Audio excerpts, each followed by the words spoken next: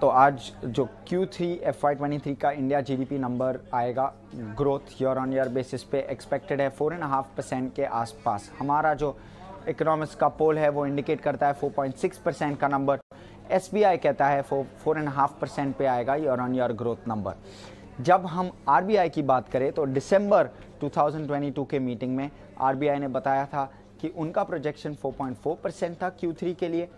आ, पर उनका F Y twenty three का नंबर 6.8 परसेंट पे था। उसके बाद जनवरी में ऑफकोर्स एडवांस जीडीपी एस्टिमेट आते हैं। एफ़ वाई ट्वेंटी थ्री के लिए advance GDP estimate seven percent पे आया।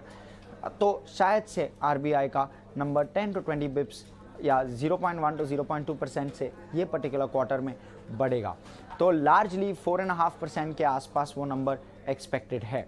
जब हम लास्ट ईयर और उसके पहले वाले साल की बात करें तो लास्ट ईयर जीडीपी ग्रो हु, ग्रो हुआ फाइव एंड हाफ़ परसेंट से और उसके पहले वाले साल जो कि कोविड साल था एफ़ वाई ट्वेंटी वन था Q three F Y twenty one वो साल में अराउंड हाफ़ परसेंट से बढ़ा था जो क्यू थ्री का जीडीपी नंबर था वो। तो ऑलरेडी एक काफ़ी लो बेस पे फोर एंड हाफ़ परसेंट के आसपास ग्रोथ पर ये पर्टिकुलर नंबर काफ़ी इंपॉर्टेंट रहेगा क्योंकि जब हम देखते हैं कि रेट हाइकिंग साइकिल काफ़ी अच्छी तरीके से किक ऑफ़ हो चुका है तो अब उसका इम्पैक्ट जीडीपी नंबर पे कैसे आएगा, वो उस पर मार्केट की नज़र रहेगी। और जो दूसरा पार्ट है लार्जली हाई फ्रीक्वेंसी इंडिकेटर्स कहता है कि एक स्ट्रॉन्ग नंबर एक्सपेक्टेड है, क्योंकि जब हम लार्जली टैक्स कलेक्शंस को देखें कंजम्पशन को देखें तो काफ़ी स्ट्रॉन्ग नंबर्स क्लॉक हो रहा है वो पर्टिकुलर मेट्रिक्स पे। तो जीडीपी का number four and half percent